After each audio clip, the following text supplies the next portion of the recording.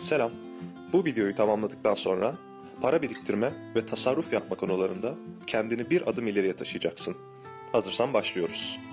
Klasik ekonomiye göre insanlar seçimlerinde rasyonel davranışlar sergilerler. Davranışsal iktisat alanı ise buna karşı çıkmaktadır. Ve insanların seçimlerini etkileyen irrasyonel davranışları keşfetmeyi amaçlar. Mental accounting yani zihinsel muhasebe ise davranışsal iktisat alanındaki bilişsel önyargılardan bir tanesidir. Kafanız terimlerden karışmasın. Bu videoda örnekler vererek hepimizin günlük hayatında uyguladığı irrasyonel bir davranış olan zihinsel muhasebeden bahsedeceğiz.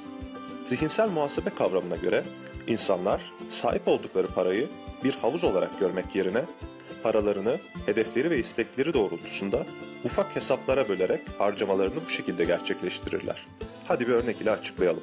Burak babasıyla tekne kiralayıp balığa çıkıyor. Av harika geçiyor ve balıktan dönerken sahildeki bir kişi balıkları beğenip 200 liraya satın alıyor. Burak babasıyla eve döndüklerinde bu parayla güzel bir restorana gidip 200 liralık balık ziyafeti çekiyorlar. Dışarıdan bakınca çok da saçma gelmiyor balık parasıyla balık yemek. Ama işte asıl problem buna balık parası dememiz.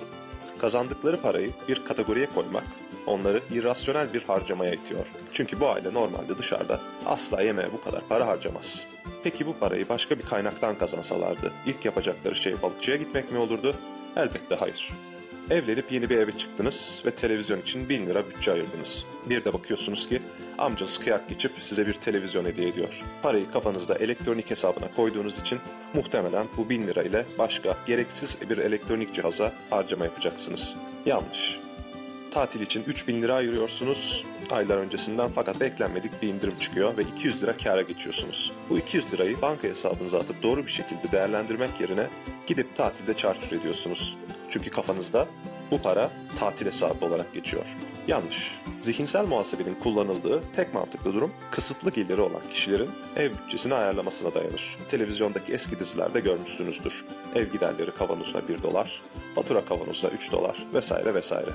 Fakat tasarruf için yaratılan bu yönteme hayatınızda daha büyük bir yer vermek sizin de gördüğünüz gibi oldukça zararlı. Zihinsel muhasebe ile ilgili daha önce yaptığınız benzer gereksiz harcamaları bir düşünün derim. Tüm paramızı total bir havuz olarak algılayıp gerekmedikçe küçük hesaplara kesinlikle bölmemeliyiz. Bundan sonra elimize beklenmedik bir para geçtiğinde veya yapacağımız harcamalarla satın alacağımız şeyler konusunda ani değişiklik olursa önce derin bir nefes alıyoruz ardından da elimizdeki parayı gerçekten neye ve ne için harcamak istediğimizi sorguluyoruz.